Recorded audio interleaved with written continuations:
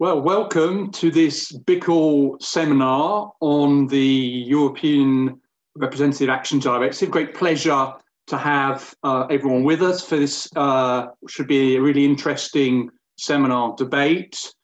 Uh, after many years of discussion, the EU uh, Representative Action Directive was finally passed uh, just over a month ago, a couple of months ago um, in early December last year.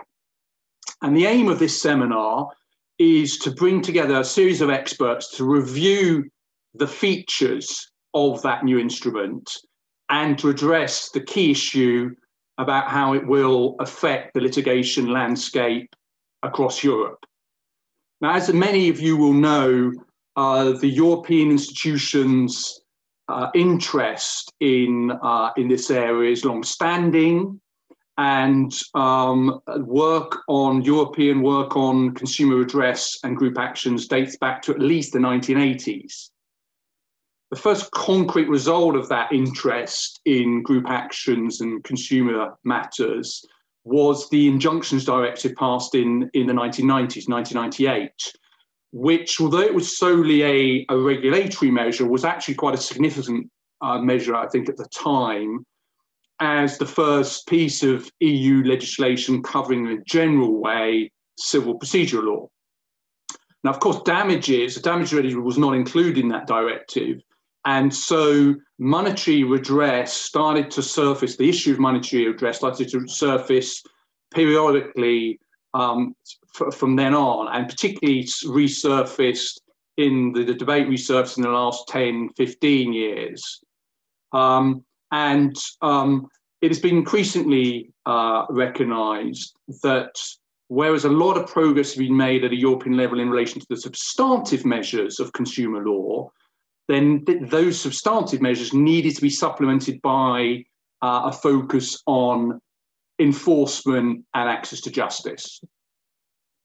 So in 2013, the Commission finally, after a lot of uh, discussion, reports, and uh, uh, uh, on this theme, the Commission finally enacted a, legal instrument on uh, specifically on collective redress, which was the, the recommendation on collective redress. And that set out a series of common non-binding principles for collective redress in Europe. It's fair to say it was a bit of a damp squib, that, uh, that measure uh, and um, work on the current measure, the, the directive, can be traced back to the, that period after 2013, particularly in 2017, when the Commission announced a new deal of consumers, which is aimed at strengthening the enforcement of EU consumer law. It took a while, of course, to get the uh, Representative Actions Directive onto the statute books, but then, as now has occurred as of December last year, as I said, and the directive that provides for a collective redress remedy for the protection of consumers to be brought by so-called qualified entities, as we will see analysed in a minute. That directive has potentially a very uh, broad um, uh, scope with covering the 59 instruments listed in the annex, which cover areas, diverse areas such as product liability, data protection, financial services, travel, tourism, and sectors such as chemicals, cosmetics, etc. Now, although the although of course the uh, instrument is not applicable in the UK, collective redress is a hot topic at the moment in the UK, and so consideration will be given during this discussion uh, the way in which there may be indirect influences of, of this legislation uh, and, and the developments in the UK. We have a lineup, sterling lineup of speakers to analyse this topic uh, for us. Um, and are very grateful for them uh, taking the time to, uh, uh, to help us understand this topic. Uh, we have uh, Matthew Felwick and Valerie Kenyon, who are both litigation and products liability partners at Hogan Lovells in London. We have um, Augusta Maciuleviciu, who is a senior legal officer and team leader of redress and enforcement at BEUC. Augusta, I hope I pronounced my my, my pronunciation wasn't too bad. Uh, thank you. Um, and uh, we have Neil Purslow, Chief Investment Officer at Therium Capital Management Limited, and Rhonson Salim, lecturer at Aston Law School and expert on uh, academic expert on collective redress. So um, the, the idea is what we try to do is um, pull together a consolidated presentation looking at a series of different topics. And um, what we're going to do is we are going to, um, in, in order to um, um, to look at the topic, we're going to start with an analysis of the scope of the directive and standing. Then we will go on to look at domestic versus cross-border forms of representative action, which will include the, um, the uh, opt-out, opt-in dimension.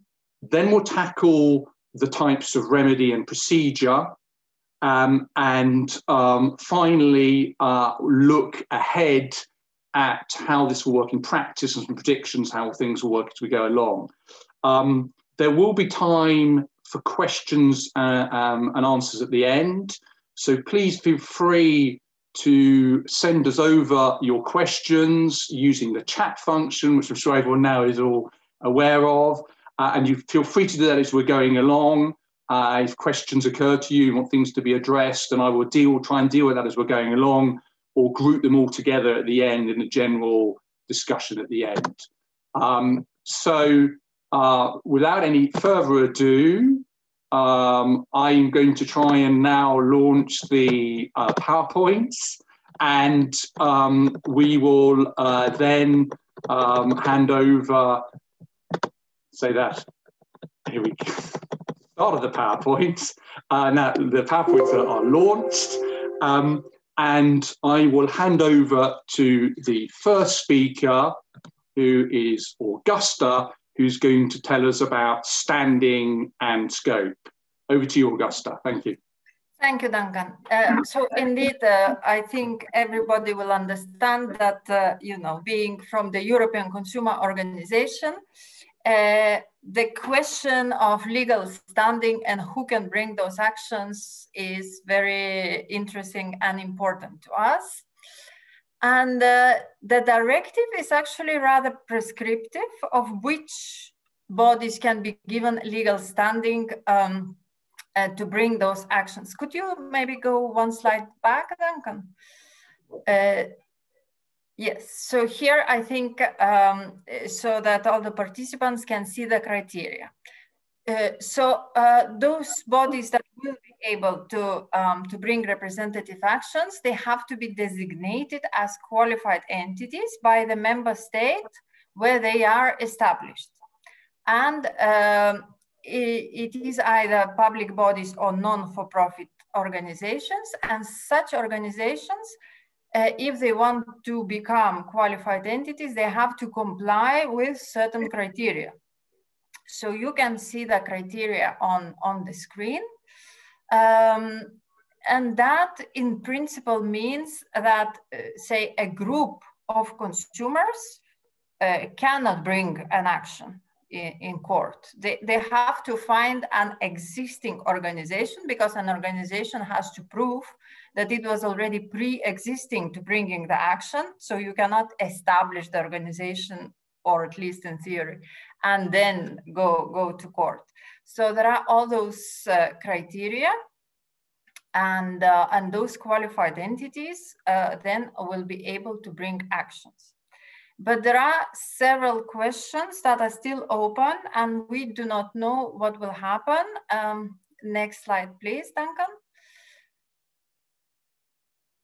So first of all, um, these criteria are only uh, set up for qualified entities who will bring cross-border representative actions. And cross-border means in another country than they are established. For the domestic cases, um, the EU countries are free to set the criteria that they wish to set. So for the moment, we do not know what those criteria will be. And um, it could be pretty important because uh, at least until now, most of the representative actions in Europe were domestic actions, meaning that you know the bodies established in that country would bring an action in that country, even if it is against a trader from, uh, from another country. So that is one important question. Another one is, will some countries only tend to designate public bodies? Because for instance, that is the case now in several existing collective redress procedures. Say Hungary, uh, uh, only uh, the public authority can do collective redress. Also in Denmark and Finland, this right is reserved to the public consumer protection authorities, consumer ombudsman, and they bring cases extremely rarely. What they say though, that this uh, power to do this helps them a lot in negotiations with the traders, you know, to, to fix the, uh, the alleged unfair practices also. So this eh, is also an interesting thing, and it is related to the fact that indeed, as Duncan has said, the scope of the directive is very wide. So it could be even difficult to find enough of the qualified entities that could cover the whole scope. Of course, it's not only consumer organizations strictly, it could be passenger organizations, patient organizations. So, but uh, anyway, uh, I think especially in smaller countries, it might be difficult to find uh, that big number of qualified entities. So that is one question. And of course, it will depend on all the setup of, of the collective uh, procedures that we don't know yet. The last question, I think uh, that is very interesting, but maybe other presenters will touch on it too. Will those qualified entities in practice be able to join and bring actions on behalf of the consumers from several countries? Because we have quite some examples of big, uh, let's say, mass harm situations that go beyond the limits even of several EU countries that cover all the EU. So will it be possible that all the consumers from different countries are represented in one country? I, I think it is a very big question because the rules on private international law are not regulated in, in this directive. And from what we see, uh, at least from the examples now, the judges are quite hesitant to apply uh, the law from another country. So if you have, you know, I don't know, a set of more than 20 applicable laws, I think uh, there is a high risk that a judge would dismiss this action um, at all. So I think that's the main points I wanted to say, but there might be comments from other colleagues. Thank you very much, Augusta, for that very, very informative overview. Neil, did you want to, to react from a, a, funding perspective in relation to that? Sure, thank you, Duncan. So from a, a funding point of view, there are some specific provisions um, in the directive which are all geared towards trying to protect against abusive litigation and uh, abuse of the process. Um, so for instance, there are some provisions on disclosure of funding sources for the qualified entities, um, provisions to prevent conflicts, um, and also provisions to avoid undue influence by the funder or other parties, um, especially over settlement of the cases.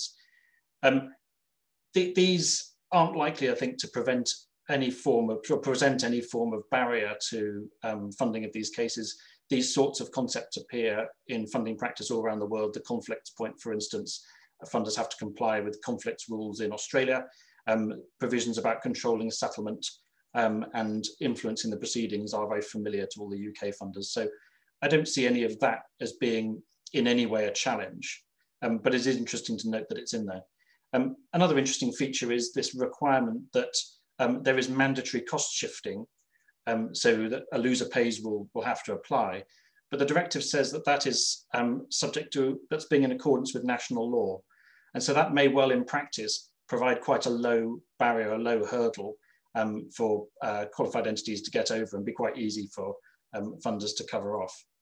I think at a more general level, um, I think it's quite welcome to see that the directives enabling claims to be brought by parties who aren't themselves claimants, so representative parties.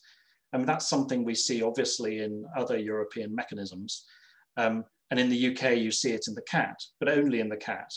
And in the UK representative action, of course, the claimant has to be both suitable to be a representative, but also actually have a claim himself or herself.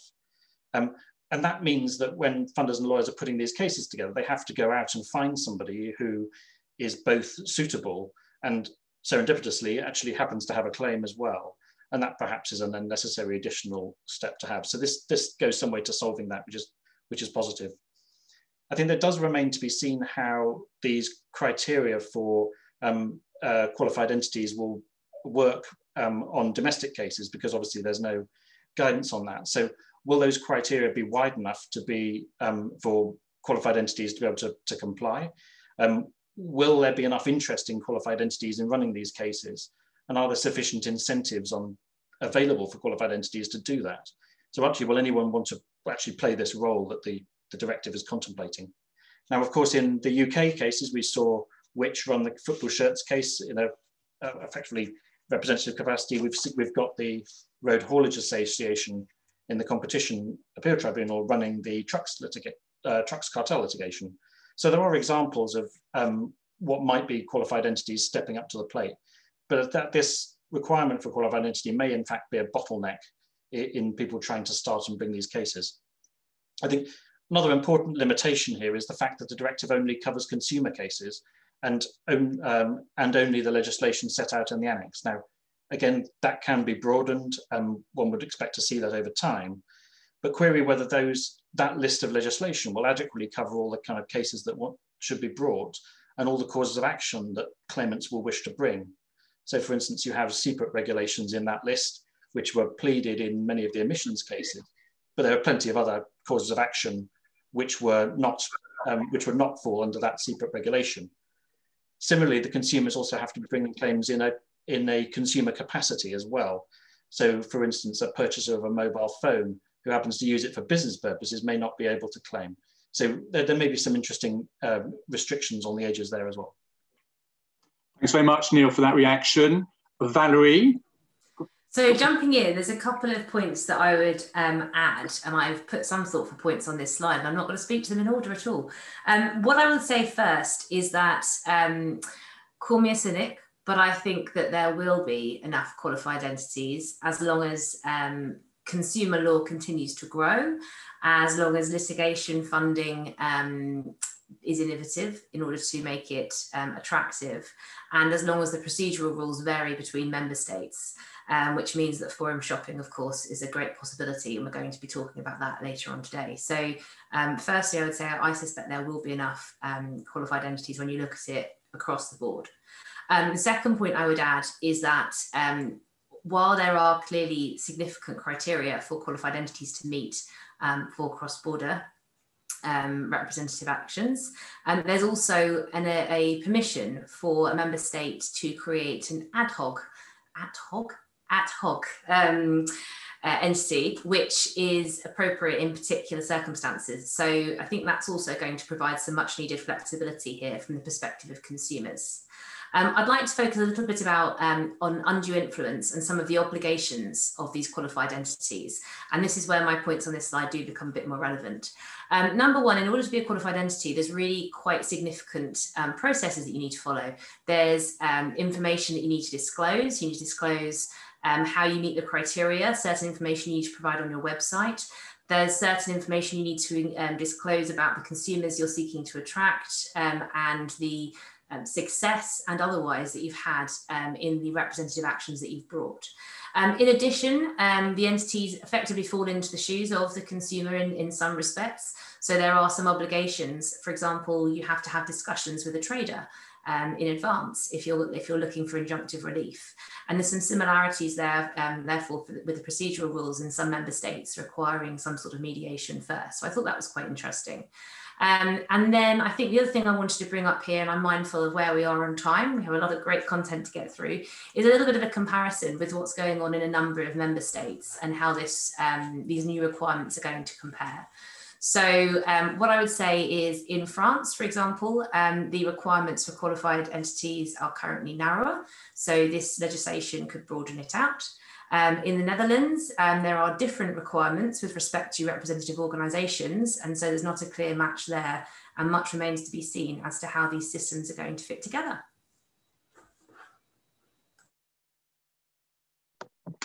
Thank you very much for that perspective, uh, Valerie. On to the next topic, um, which is the difference between domestic stroke and uh, cross-border actions and the opt-out issue, opt-in, opt-out issue. And can I hand over to Rhonson, who's going to take us through those issues? Thank you, Duncan. Um, in terms of domestic and cross-border, I think in this particular slide, I've emphasized some key particular provisions, particularly Article 6, and some of the relevant recitals relating to the referencing of domestic and cross-border. I think a good starting point would be Article 6.2, which, as you can see from the, the wording of it, leaves the coordination of claims actually to the proclivities of national law. Uh, and so in this particular um, context, there is quite a wide scope of, of national um, fragmentation and, and, indeed fragmentation uh, across the board in, in terms of the coordination of, of multiple qualified entities in a particular forum. In terms of categorization, um, I think the, the key point here is that the directive takes the approach of classifying whether something is domestic or cross-border representative action, depending upon the relationship between where the qualified entity is designated and as, and as well as where the action is actually brought.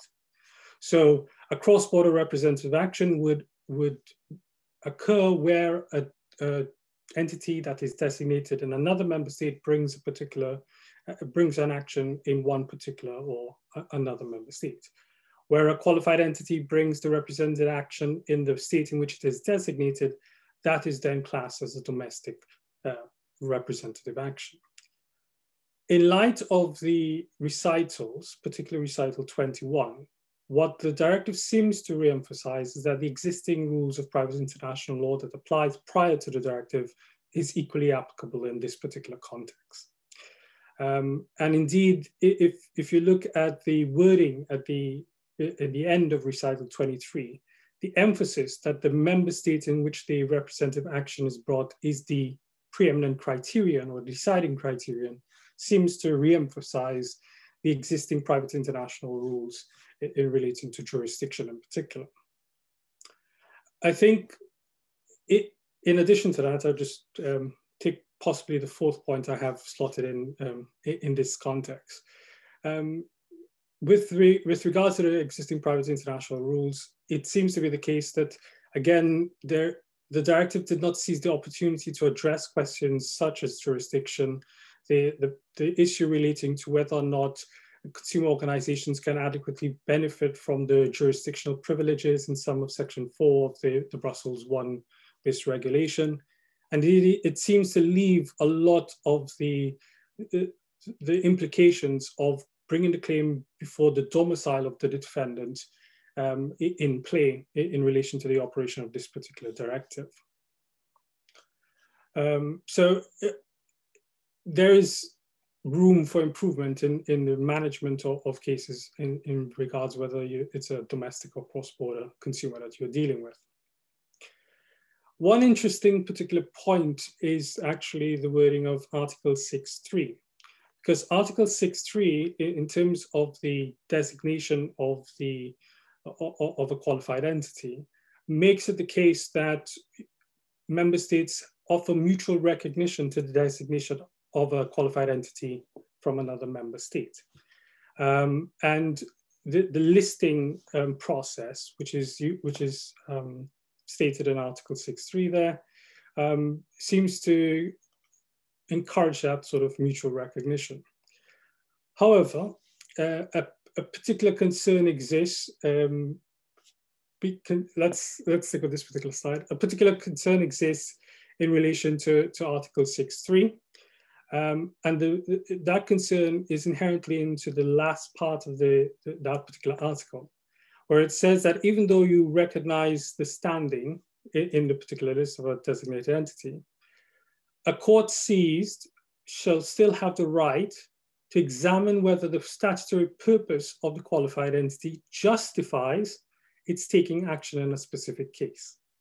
Um, arguably that leaves a, a, particular room for the court seized to question the ability of a, of a foreign designated qualified entity to in actually bring a claim in its courts. Uh, so a, a, bit of concern there. And I think my last point in, in relation to cross-border um, and domestic is the nature of, of Article 15 arguably it, it seems to promote this uh, creation of very quick procedures across member states uh, and indeed the use of uh, test case proceedings or pilot proceedings in, in, some, of, in some of the jurisdictions. Uh, that, that's it for domestic and cross-border. Um, shall, uh, if we then move on to remedies, um, I think that the one of the key aspects is that you can see that qualified entities can bring both redress measures and injunctive measures. Indeed, recital 35 emphasizes that it is actually possible uh, for both redress and injunctive measures to be brought in a single representative action. But what we can find that it, that is interesting is that in recital 36 um, of the directive, it actually says that qualified entities can bring representative action, um, but they should be seeking uh, measures which protect the interests of and on behalf of consumers affected by the infringement.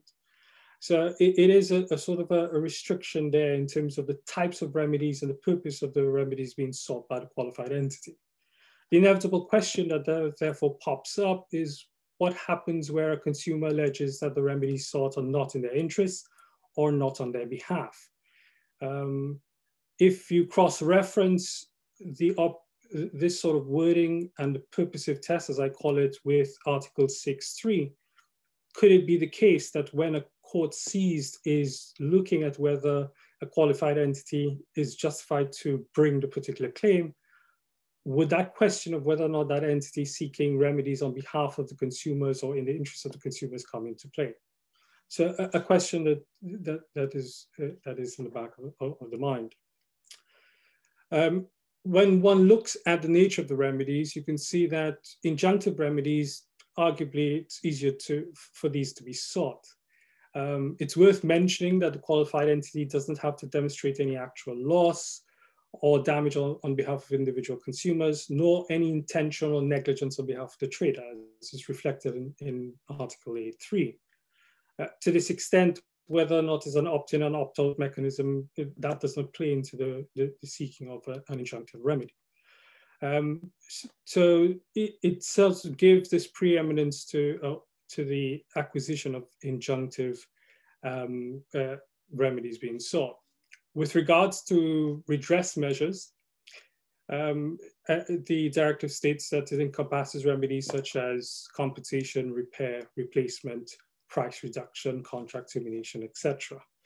Um, and what is interesting is particularly the, the, the implications of Article 9.4, which seems arguably to create a, a restriction on consumers and, and whether or not they can subsequently bring claims or bring claims in a different member state uh, whilst pursuing an action. So arguably a, a lis alibi pendens type rule. Punitive damages are, as the, the recitals in the directive refer to, are to be avoided or not permitted. But it's interesting to note that punitive damages are not expressly referred to in the articles of the redress measures. Uh, two key points uh, as well in terms of remedies. Um, the directive also, when you look at Article 9.6 and the operation of Articles for, uh, recitals 49 and 50, seems to front load the quantification question in redress claims to that of the representative action. Um, 9.6 makes reference that uh, consumers um, should not should be able to seek uh, compensation without to have without having to start follow-on or follow-up proceedings. And recitals 49 and 50 make explicit reference to uh, courts in um, using their own method of quantification of harm, or indeed the definition of separate proceedings will cover um, proceedings by consumers subsequently to determine their individual damages. So it takes away that burden on individual consumers and puts it into the representative action itself.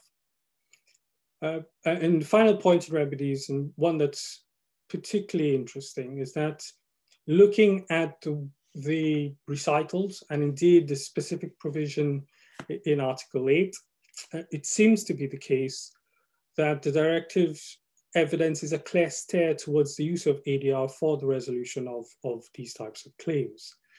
Um, Article 8.4, for example, seems to impose, impose an obligation on qualified entities to undertake pre-litigation steps, and it's referred to as consultation.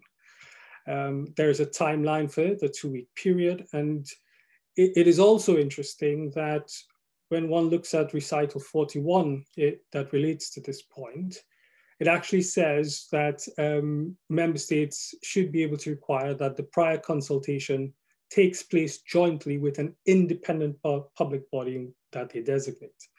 So uh, as Augusta mentioned, the some of these public bodies, um, such as ombuds, for example, may really come into, into strength in, in this particular regard.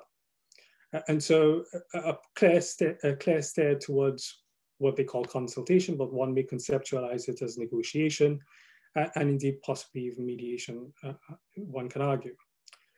Interestingly as well, recitals 53 and 54 um, also evidence that stare towards ADR. A clear stare that settlements are to be encouraged.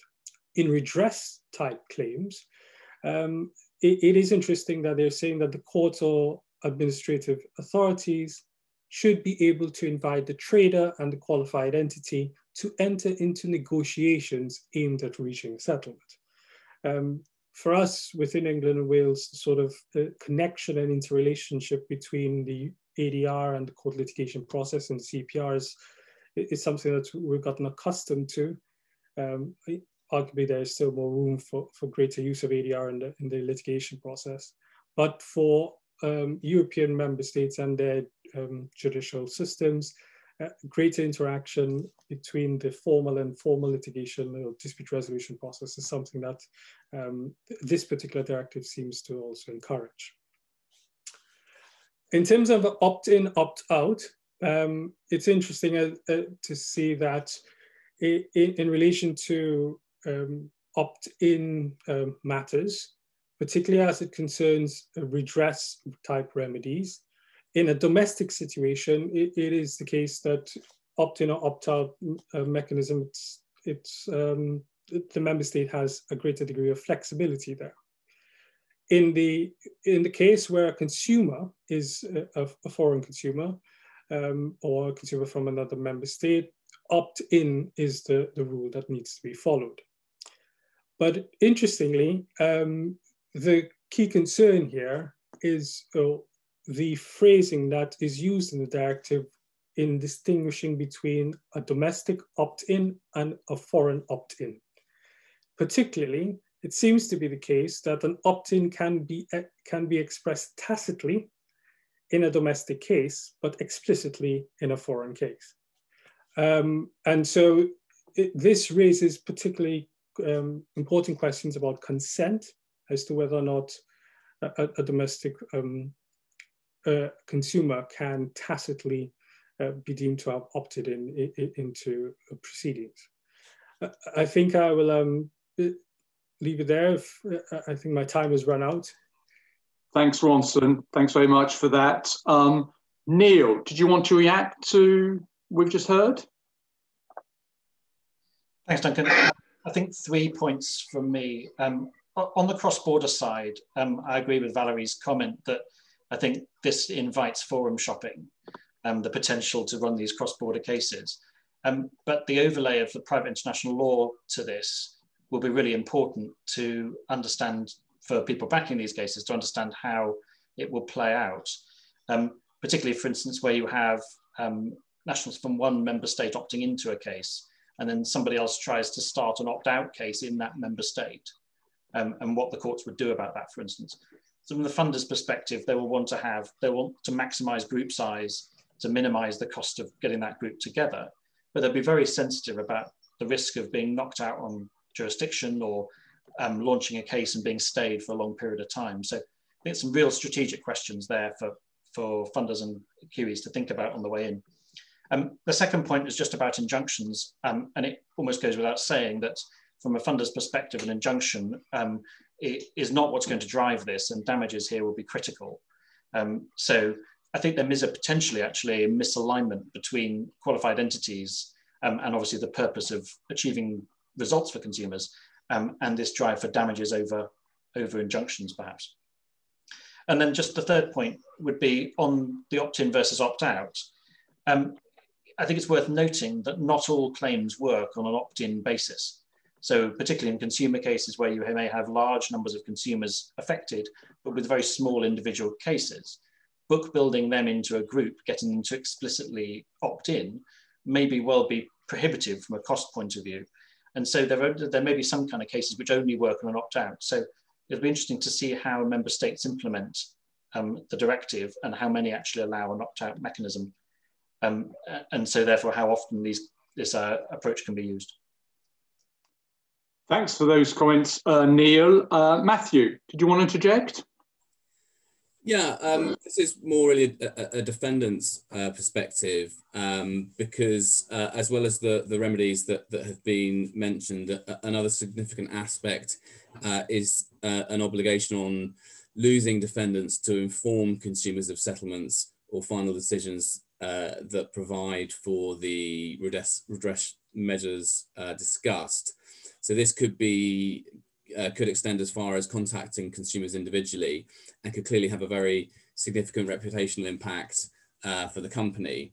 Um, it's been included as a deterrent to stop traders infringing in the first place, uh, but the reputational issues would inevitably begin before the court establishes whether the defendant is liable, given that qualified entities will also be required to publicise and inevitably will publicise the claim uh, there's a, a, purported safeguard which requires unsuccessful qualified entities to inform consumers if a claim is rejected or or, or dismissed and to bear the cost of, uh, the cost of doing so.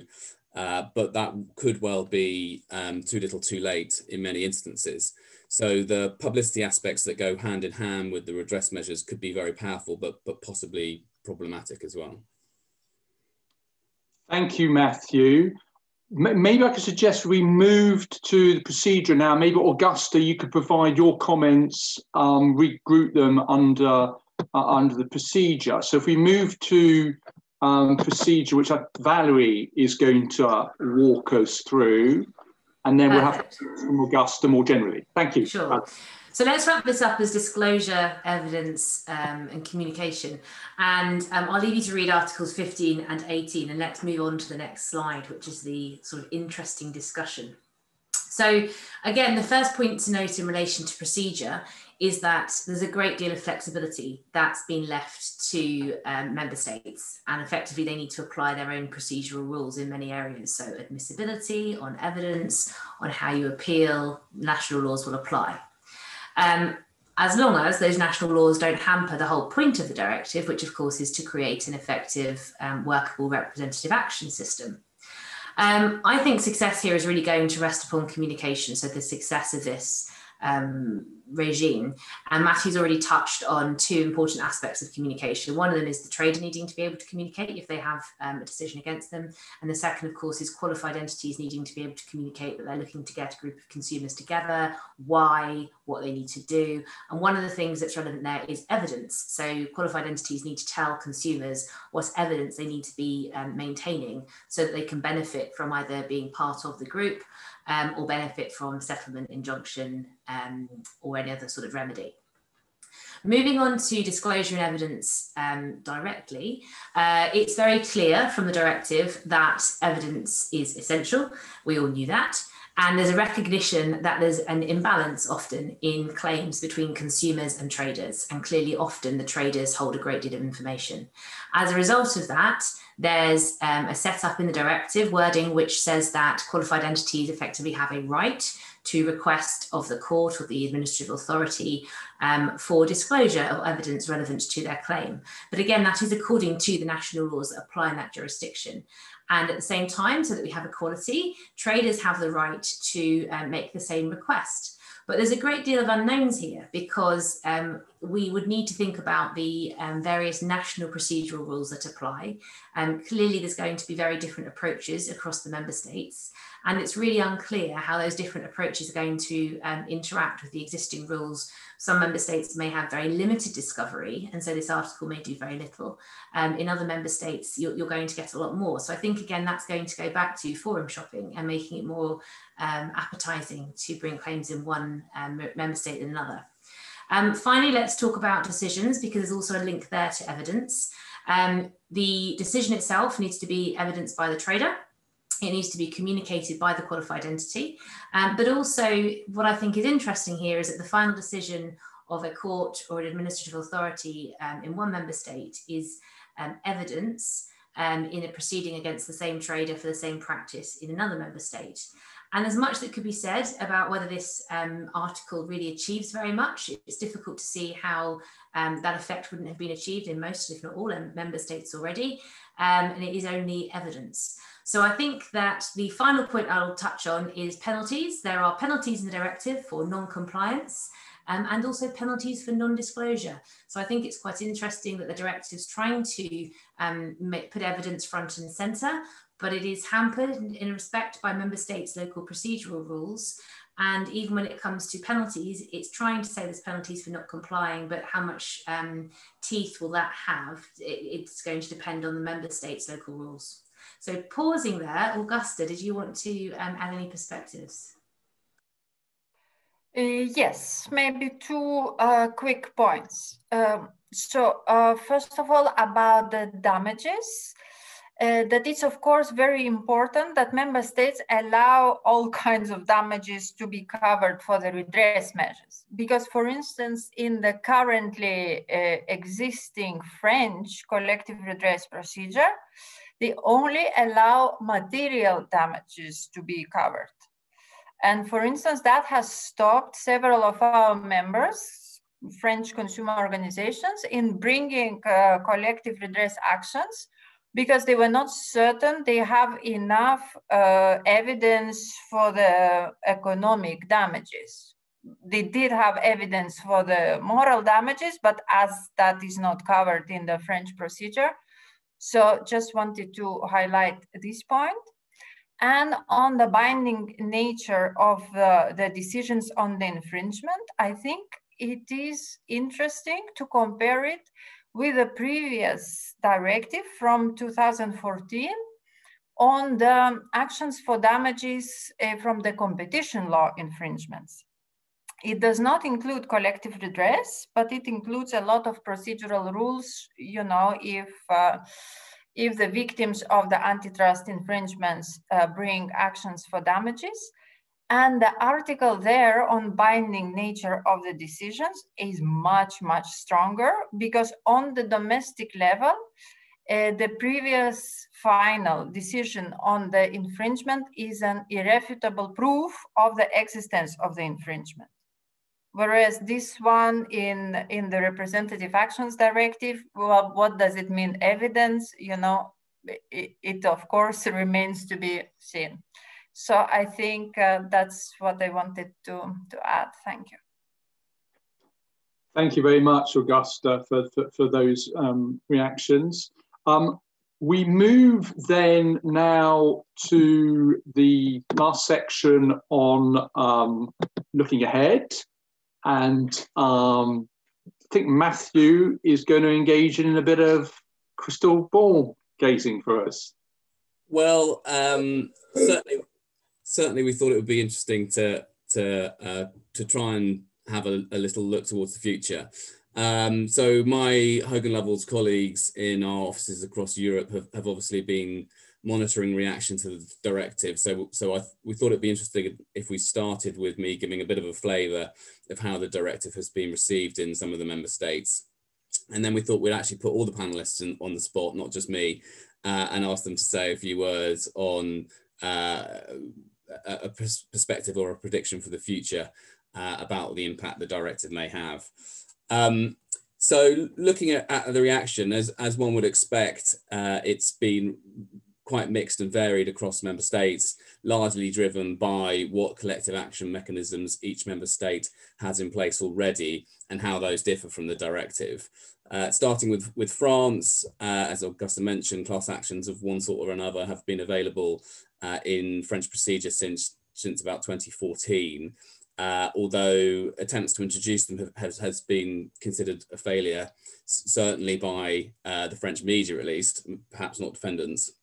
Uh, I think only um, 21 actions have been launched in that time and a number of those were dismissed relatively early on on procedural grounds. So consequently, public authorities and, and consumer associations have welcomed the directive and particularly the cross-border elements we've been discussing. Uh, and in fact, some have said that it doesn't, doesn't in fact go far enough uh, because the final version fell short of, of some of the original proposals. The view being that in the balance between consumer protection and the desire to avoid abuse, the, the new system, uh, abuse of the new system, the latter uh, won out. So uh, a bill has already been introduced in France looking to reform the, the French class action procedure and that expressly states that improvements should be um, made to take account of the EU directive. Um, there are many steps before that bill will become law and we've seen no indication of timeline, but we think that is likely to become the implementing legislation in France. Um, turning to Italy, the directive should sit alongside a new class action procedure, which they were introducing, that's being introduced in Italy um, already. The, however, that new Italian procedure has been repeatedly delayed. Um, the current date it's due to come into enforce uh, is May this year, although the risk of further delays can't actually be excluded, I'm, I'm, I'm told the, the process for implementing the directive is yet to start, so the timelines there are unclear. Uh, but again, there's been relatively broad support support for the for the directive from consumer associations um, because it extends the areas in which collective actions can be uh, can be brought, um, as we were discussing the scope earlier earlier on. Um, it may be that in fact that when both systems are in force, the Italian procedure will be favoured by claimants because uh, it has a wider scope than the directive. It can be initiated by an individual as well as a non-profit organization or association, uh, and it can also be used for in injunctions and damages. Uh, so while it's a, an opt-in mechanism, there is a window for claimants to join very late in the proceedings, in fact, even after they know the outcome of the claim. So it, it may be that that's preferred over, over what's subsequently introduced um, in line with the directive. Turning to the Netherlands, which as many people will know is the, the trailblazer when it comes to collective actions in the EU. Um, uh, there are several mechanisms in place in the Netherlands already, uh, and in particular, a new collective action for damages came into force on the 1st of January 2020, which also introduced a representative procedure for claiming damages on an opt-out basis. Um, there are some important differences between the Dutch procedure and the directive. The scope of the Dutch mechanism is, is wider than, the, than the directive. Um, a represent, uh, any representative body can, can initiate a, uh, a collective claim under the Dutch system so long as they meet the various uh, uh certain criteria. And the Dutch mechanisms includes specific requirements for the coordination of multiple actions in respect of the same event. Um, so uh, given there's been so much excitement around the Dutch procedure, and I understand about 18 have been launched in the last year, there hasn't really been much uh, attention paid to the directive as, as one would one would expect, and it doesn't seem that it's going to um, change the landscape there at all, really. Um, finally, looking to Germany, um, this could be where we, we, we see the biggest um, change. There's a representative regime was introduced in, in November 2018, uh, the Musterfeststellungsklage. Some, some colleagues advised me that I shouldn't attempt to say it, but I hopefully have, have, not uh, made too much of a bad job of it. Uh, so, but that the um, the MFKs, I'm going to call it from now on, can only be used for declaratory ju judgments. So the fact that, that the directive can also be used for direct redress, including damages, uh, is likely to be a bit of a game changer in that respect. Um, it remains to be seen whether the MFK will continue to be used. Uh, there would still be a place for it, given again the scope is, is broader than the directive in that it can be used for any, any type of civil action. Um, but I think it's fair to say that the MFK has, has been relatively ineffective from a procedural point of view, given that the federal government envisaged about 450 being launched uh, per year, and in fact, only 15 uh, have made it past the first uh, admissibility test, and several of those got dis dismissed straight away. So uh, commentators are cautiously optimistic about the changes that the directive will bring and, um, and, and the impact it will have. Um, so that's you know, necessarily a, a whistle-stop tour of what's happening in, in those four member states. Um, we'll, we now thought we'd just have a, a, a quick um, uh, few words from each panelist on, on, on what might uh, the future hold. So my, my final thought is looking at things from a UK perspective, where the directive won't be implemented because we've now left the EU. Um, you know, we do have a representative action procedure already uh, where a claim can be brought by a, a single claimant uh, who has the same interest in a claim as, uh, as Neil was saying, um, saying earlier. And, and uh, as he referenced, it's, it's not really being used very much historically, given the high bar in establishing this, this same interest. But there has been a resurgence recently um, as it's been used for data breach claims in particular. Um, and the Supreme Court in the UK will, or in England will be considering the use uh, of that of the representative action in that context uh, in April this year. But even so, um, the UK procedure is um, is much more difficult to to engage uh, than the directive. And so, in the long, longer term, if the directive is seen to be a success, particularly if the Supreme Court in England uh, restricts the, the use of representative actions even in data breach claims, um, the one of the impact of the directive is that it could add to pressure for reform in the UK to a similar system being introduced here. Um, Augusta. Thank you. Uh, I will be a bit more positive, if, if you allow me, because uh, indeed, I mean, uh, prior to the, to the directive, there was still quite a high number of EU countries that did not have any kind of representative uh, actions for redress, I mean, procedure. All the countries had injunctions because of the directive of the uh, 98 indeed, but not, uh, not actions for redress.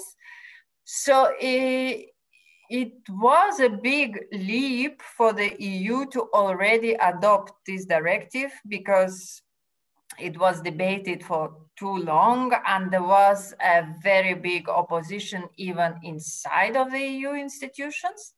So of course it's not perfect. And of course there are many unknowns as we have discussed, uh, but it's a first step. And then I always believe that when we already have this, I call it breakthrough, then you know every EU country will be able to build on it depending on the experience and depending on the existing procedural law and hopefully Im improve it.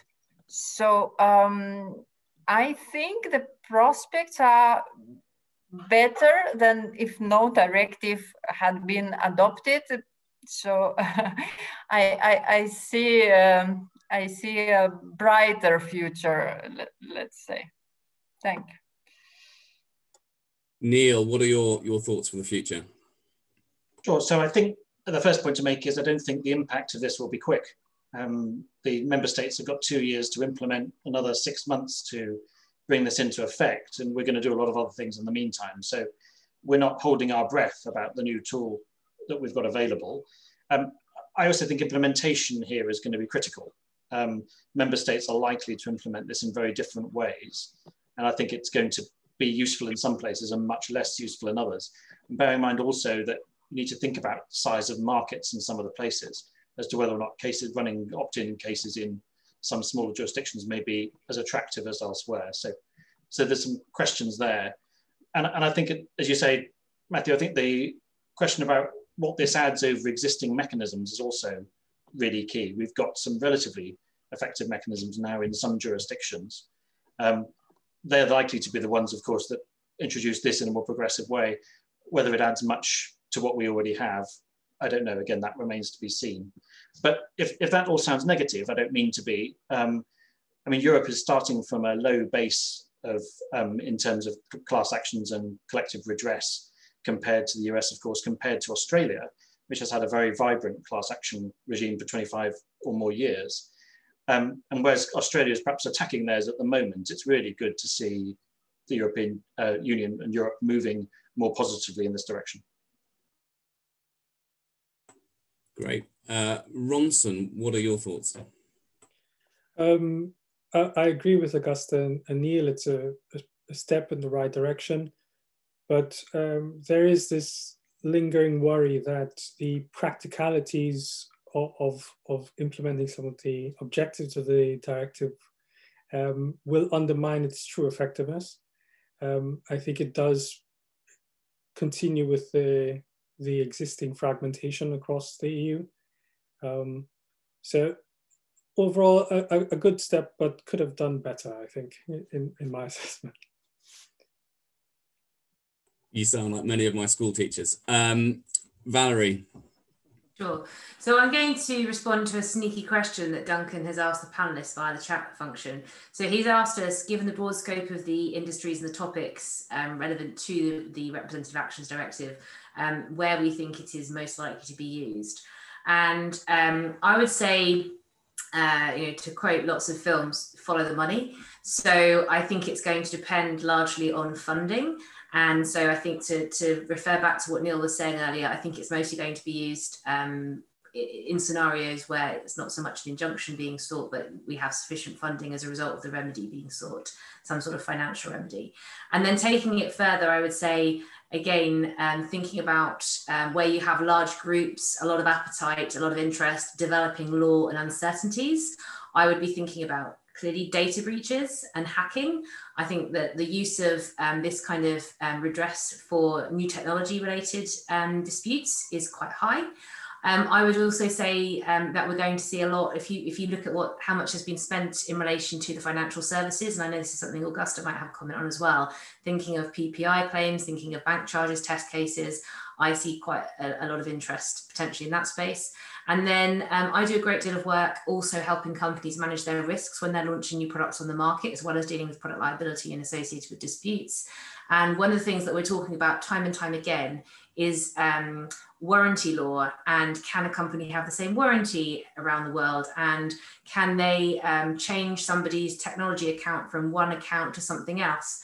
And in the past we've always sort of said in the eu um, the appetite of the regulator is so-so but in the us in australia there's much more appetite from the regulator. You're much more um, likely to have class actions in the us for these kinds of things. So i think it'll be really interesting to see how um, consumer laws in relation to warranties and sale of goods type issues are impacted um, because you'll have lots of potentially affected claimants, but it's not quite as sexy as the uh, data breach, hacking, technologies, banking kind of sector.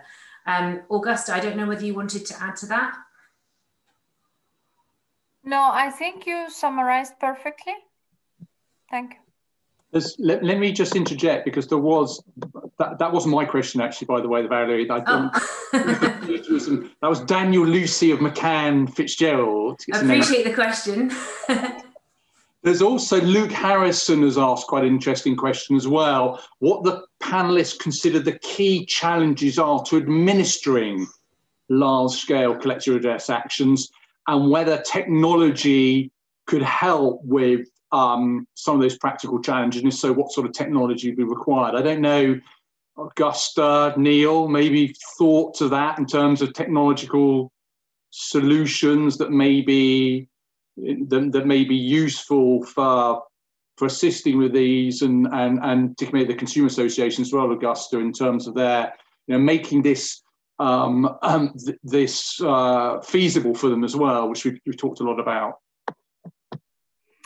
I am afraid uh, I do not have interesting details because um, personally I'm not very advanced on the technologies.